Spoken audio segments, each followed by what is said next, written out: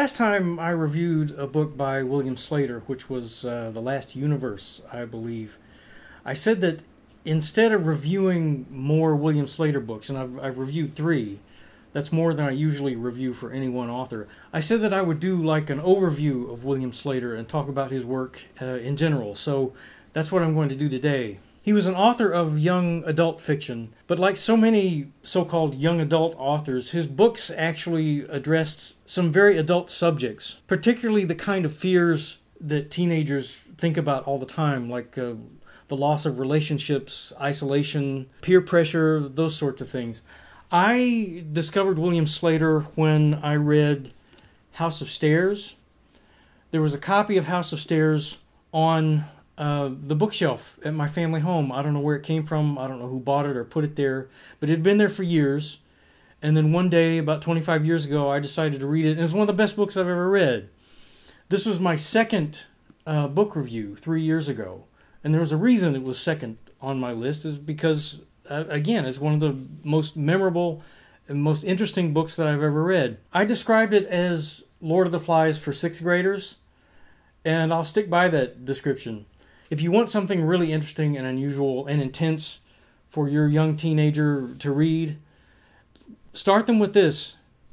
It's about a 16 year old uh, orphan boy who finds himself trapped in a world of nothing but infinite staircases with a group of other 16 year olds and the kind of things that they have to do to survive and to get out of this situation are really intense and uh, memorable let me put it that way. It's good science fiction. The next Sleator book that i reviewed was interstellar pig and i don't seem to be able to find my copy of it. I believe i gave it to someone for their kid to read. Here's a picture of it.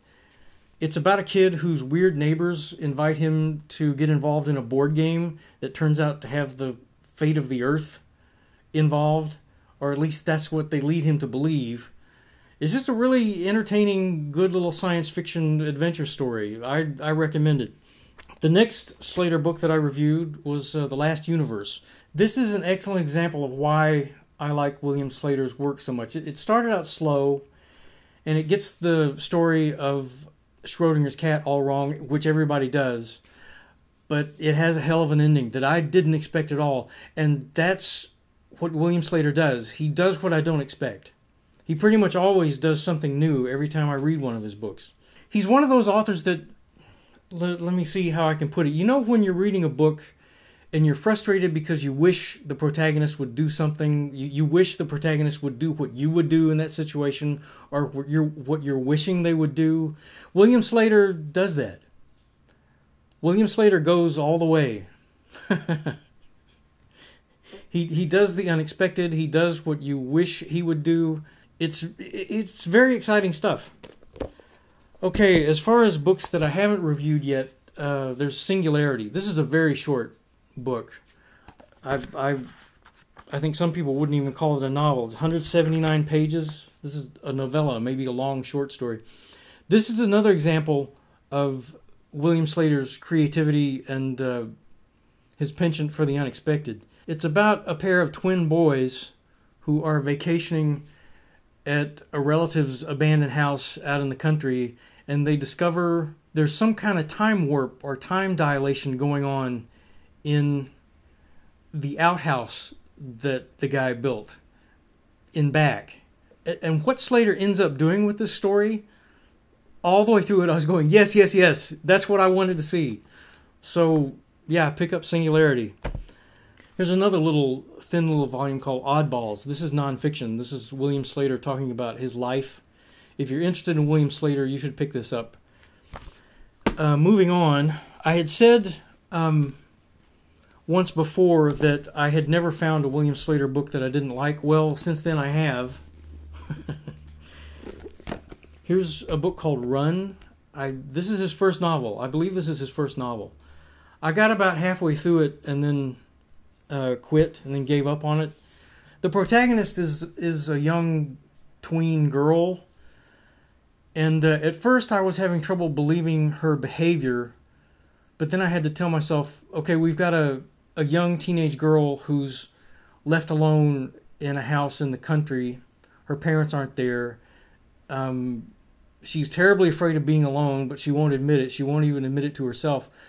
So I had to tell myself, yeah, a young teenager in that situation who's desperate to to not be alone is not going to behave rationally. Certainly not going to do what I would do in a situation like that. So I I pushed on, but then by the middle of the book, other things were happening, and I wasn't believing any of it.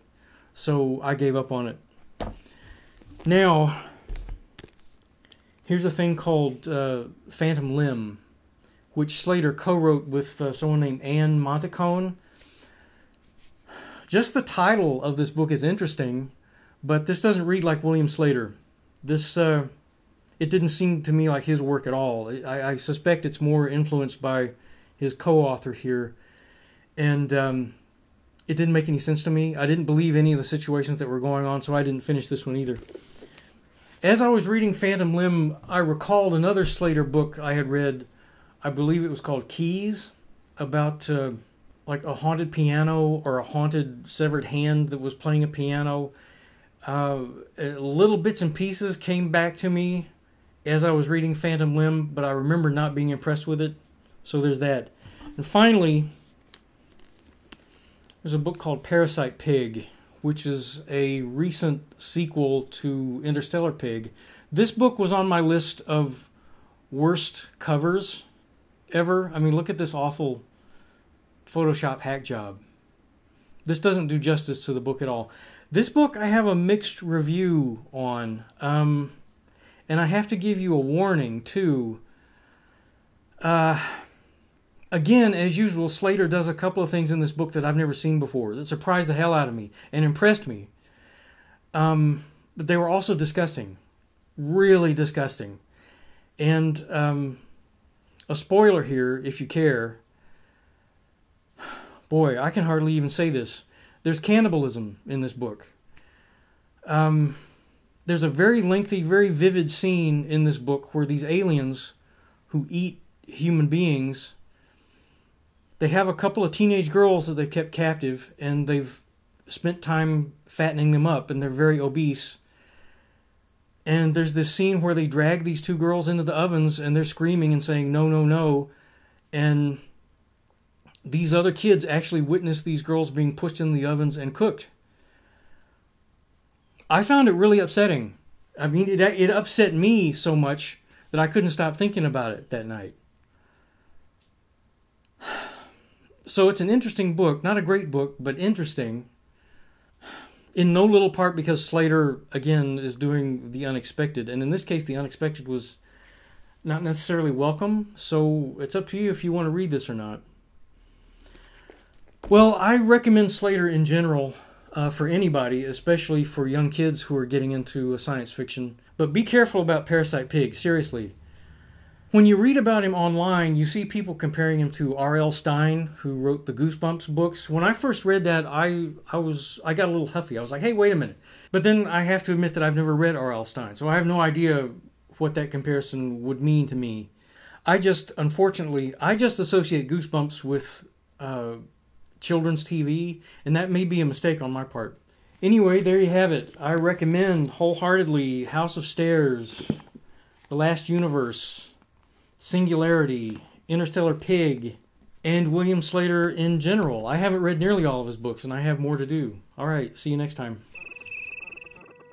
Please remember to press that like button, it helps my videos get seen. And then subscribe so you can come back next time. I do science fiction book, TV, and movie reviews all the time, and please consider becoming a patron. There's a link in the description below.